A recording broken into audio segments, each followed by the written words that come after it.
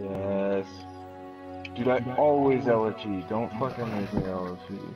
Dude, that's because you're the best at it. Shut the fuck up. I will end your life. That was a compliment. Jesus! Holy What? Holy crap! Can I say?